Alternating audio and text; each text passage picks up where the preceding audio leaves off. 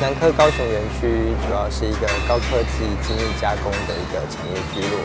那我的作品呢，是运用了齿轮，其实象征的一个这样的一个产业形态。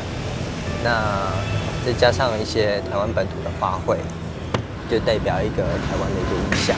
我的作品呢，其实比较大的特点是，这件作品是可以使用去脚踩踏去做一个作品的一个互动。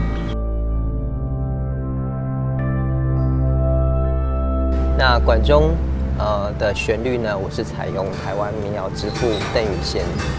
的一个四季红的歌曲，我是使用了不锈钢管这样的一个材质。那我们认为不锈钢管这样材质，它所敲击出来的声音最为清脆响亮，那最适合拿来放置于户外的一个场域，跟人产生更多的共鸣。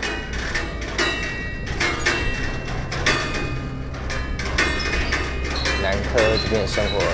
非常的紧凑，那在后面这边是宿舍区，作品设置在这里，希望说是有下班之后，他们可以在这个公园里面走动，那在踩踏我这件作品的过程当中，能够去享受这样的一个音乐。